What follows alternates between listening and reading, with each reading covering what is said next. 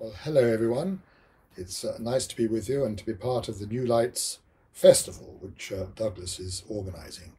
Um, Douglas asked me if I would like to contribute anything, and since it's uh, my 70th birthday this year, um, Stephen Hough very kindly uh, has agreed to write a piece for me, which I'd like to give a sneak preview.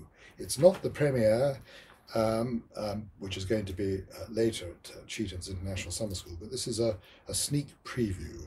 And uh, this piece is called Sonatina Nostalgica, and it's in three movements, um, recalling the area and the countryside uh, around Manchester uh, in a village called Lymm.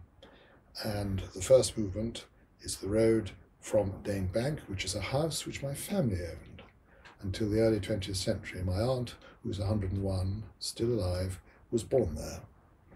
And the second movement, the bench by the dam, and the third, a gathering at the cross. So I hope you enjoy this sneak preview.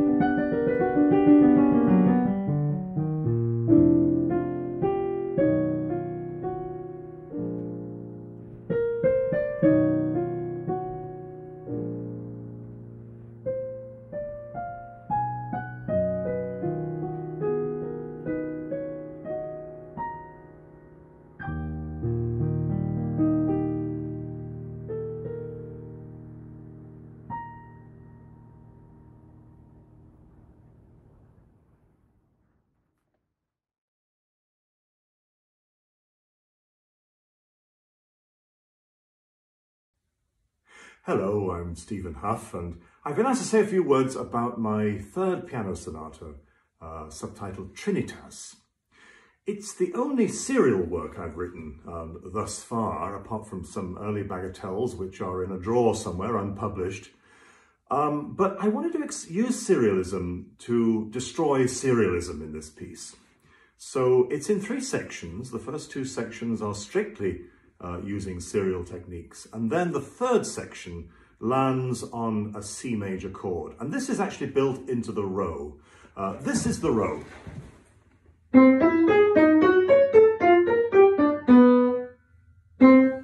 Going back to the C. And as you'll hear in the row, there are lots of tonal implications, lots of thirds in there. And in fact, the last three notes of the row form a G major chord,